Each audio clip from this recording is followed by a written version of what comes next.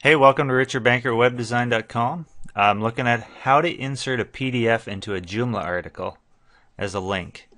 And the way we're going to do that, we're going to log into the back end of Joomla and we're going to go to our media manager. This is where, where we're going to keep our PDFs.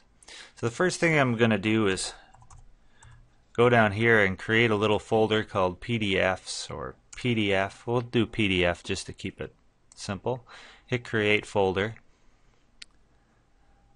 That'll create a new folder for us here. We're going to open that folder so that we're within it. And we're going to choose our file.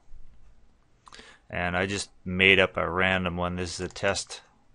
And we'll upload it.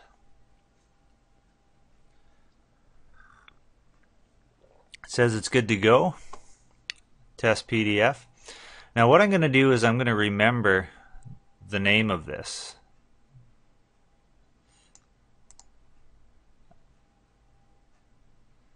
The name of this uh, PDF here, and we're going to go to our content where we want to insert it.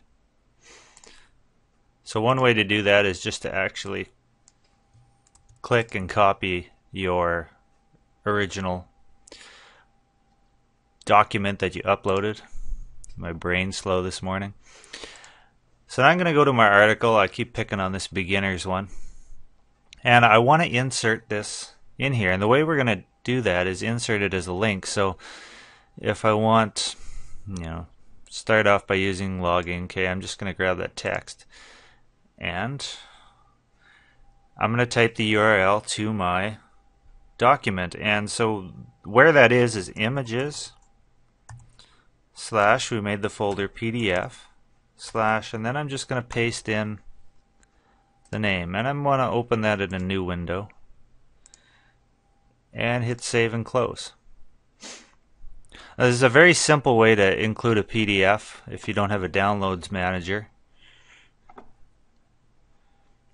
Okay, now we're going to view our site and we'll see on the front page we'll see beginners and when we click on this it opens our PDF in a brand new article or a brand new window.